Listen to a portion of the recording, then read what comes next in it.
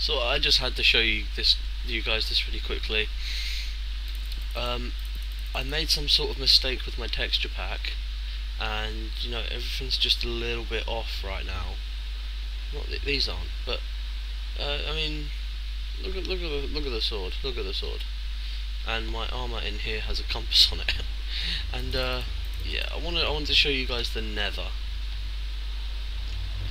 Get ready for this. Ready?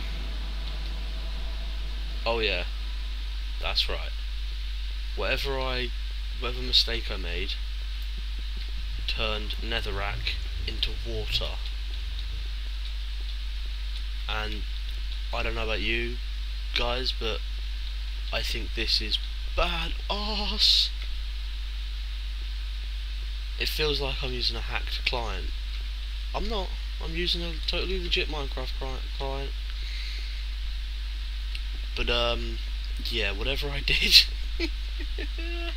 is absolutely fucking ridiculous. I mean, I've seen this before, where the pumpkin textures get all messed up, but this is just retardedly awesome. Look at this. Come on, tell me you don't think the nether looks better like this. There's a long, long walk out there. Look at it. Anyway, that's all for now. That's all for now, guys. Peace out.